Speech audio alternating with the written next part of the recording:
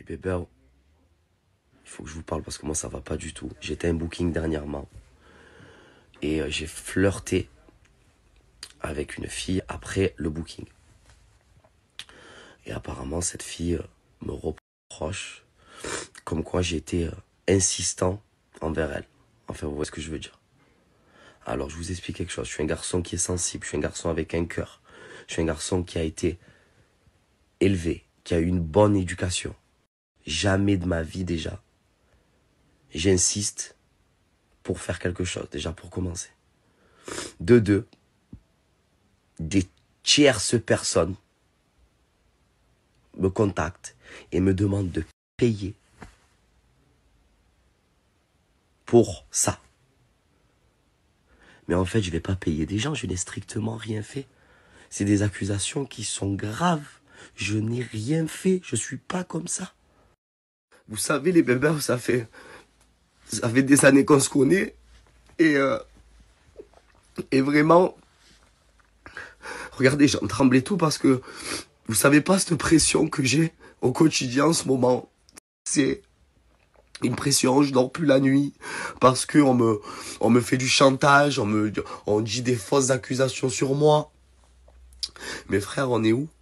On est où en fait se comporter comme ça?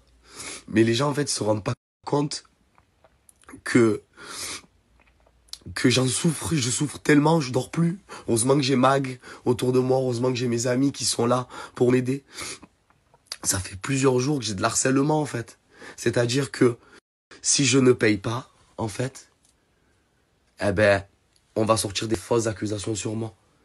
Mais on est où, en fait? On est où? On est où?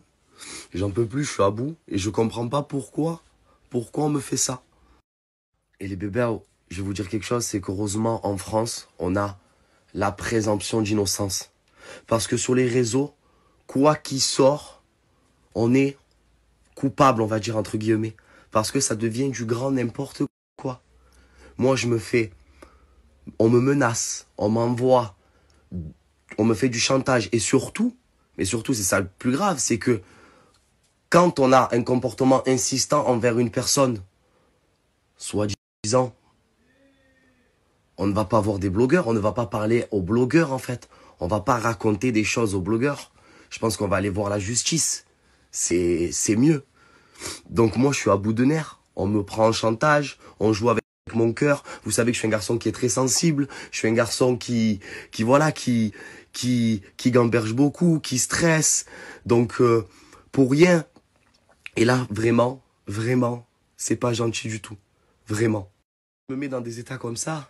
Parce qu'en plus de ça, c'est que la victime va parler à des blogueurs. Enfin, soi-disant, la victime va parler à des blogueurs moi, j'en dors plus la nuit, je reçois des appels dans tous les sens. C'est des coups de pression. Mais c'est inhumain de faire ça. J'étais au bord du suicide. Si j'ai pas Magali, si j'ai pas mes amis, mes frères, ça veut, ça veut me nuire dans ma carrière, ça veut me nuire dans tout.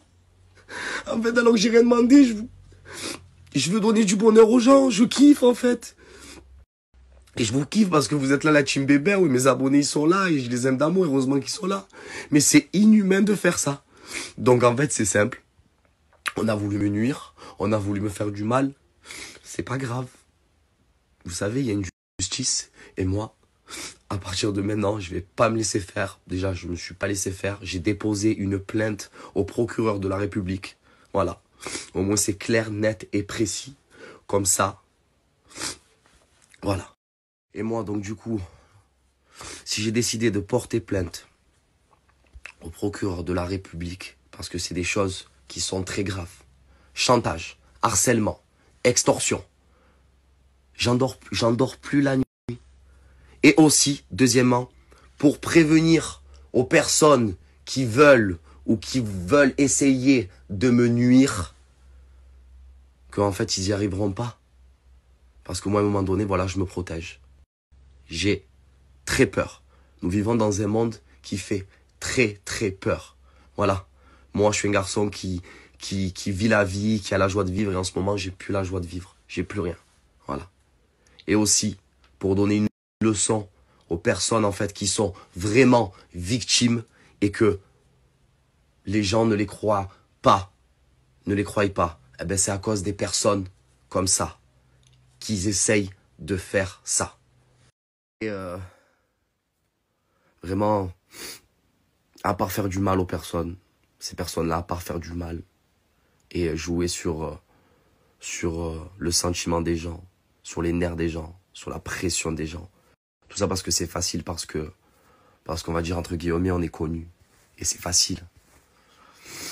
Ils pensent, en fait, ces gens-là ne pensent pas qu'en fait, que nous aussi on a une famille, nous aussi on a une maman, nous aussi on a des amis, nous aussi on est entouré. En fait, nous ne sommes pas des robots, en fait.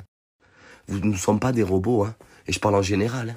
Nous avons un cœur, nous avons, nous avons tous, en fait. On n'est pas, on est des humains, hein. C'est pas parce que on est connu et qu'on est, qu'on est des personnages publics que,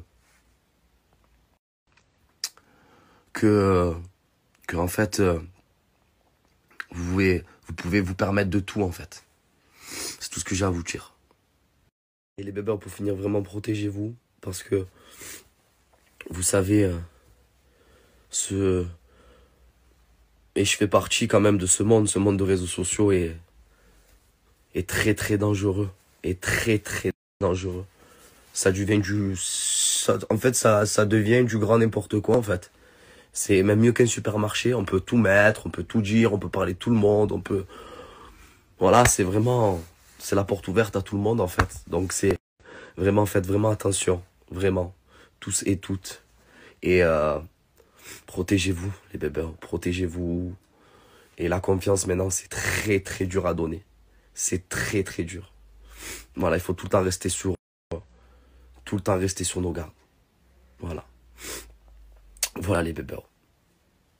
Et je pense que je vais un peu m'absenter aussi des réseaux sociaux pendant un ou deux jours pour me retrouver parce que là, ça devient compliqué. Et les bébés, juste pour ajouter une cerise sur le gâteau, en ce moment, c'est très très dur pour moi. On m'a cambriolé. Ma séparation avec Mélanie. Et ça, ça rajoute une cerise sur le gâteau. En tout cas, sachez quelque chose, c'est que